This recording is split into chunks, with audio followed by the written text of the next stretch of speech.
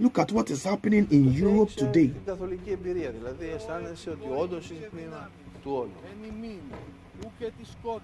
at it.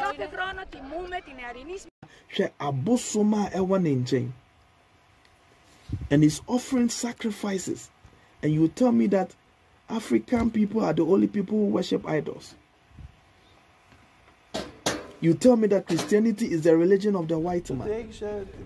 Is the video playing?